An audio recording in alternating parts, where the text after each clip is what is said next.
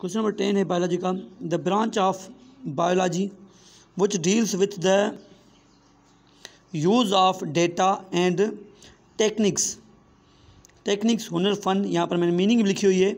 And engineering and technology concerning concerning concerning ताल्लुक वास्ता रखती हैं.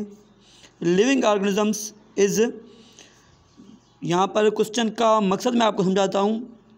यहाँ पर पूछा गया था ब्रांच ऑफ़ बायोलॉजी बायोलॉजी की वो ब्रांच जो डील्स जो वाबस्ता होती है यूज़ ऑफ़ डेटा मवाद के साथ एंड टेक्निक्स और हुनर और फ़न के साथ ऑफ़ इंजीनियरिंग इंजीनियरिंग की एंड टेक्नोलॉजी कंसरिंग जो इंजीनियरिंग से वास्ता रखती है लिविंग ऑर्गेनिजम्स की, जानदार से, उसे क्या कहा जाता है? उसे कहा जाता है बायोटेक्नोलॉजी उम्मीद है आपको लेसन हमारा समझ में आ गया तो हमारे इस चैनल को सब्सक्राइब कीजिए।